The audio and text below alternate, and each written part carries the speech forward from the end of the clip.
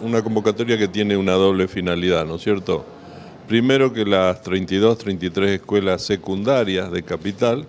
eh, realicen junto al licenciado Mansur un trabajo donde lo único que uno hace es actualizar conceptos sobre la prevención de adicciones y enriquecer la formación que desde años vienen teniendo todos los docentes, tanto del nivel primario como secundario. Pero vamos a aprovechar la convocatoria porque el 26 de junio es un día emblemático para todo lo que significa eh, la prevención de adicciones y el consumo ilegal, ¿no es cierto?, de sustancias prohibidas,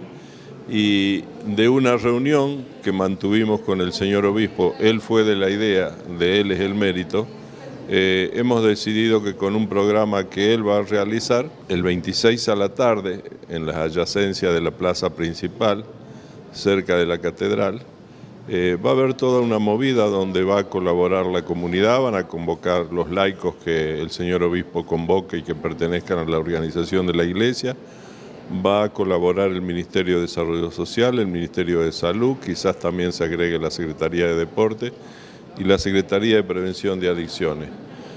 Que por otro lado, la Secretaría de Prevención de Adicciones va a hacer toda una movida eh, a la mañana, ¿no es cierto? Porque por lo general a esto lo trabajamos por este contacto diario, yo diría que tenemos con los docentes,